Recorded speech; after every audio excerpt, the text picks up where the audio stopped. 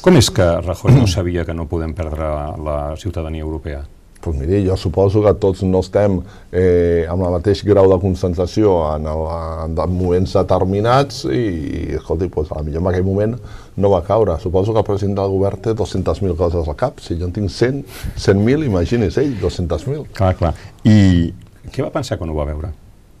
Vol que digui la veritat? Sí. La veritat, eh? Sí, sí, jo sí. no ho he vist.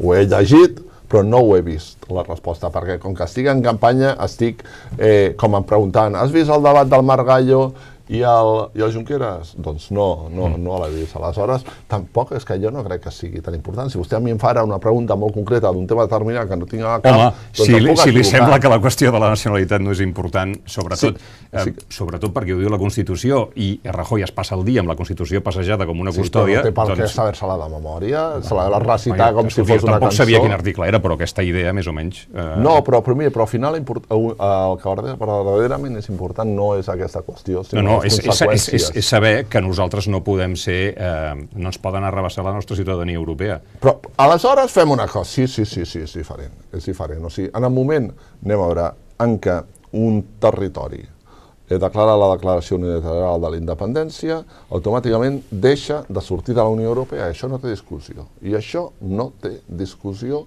eh, que valgui.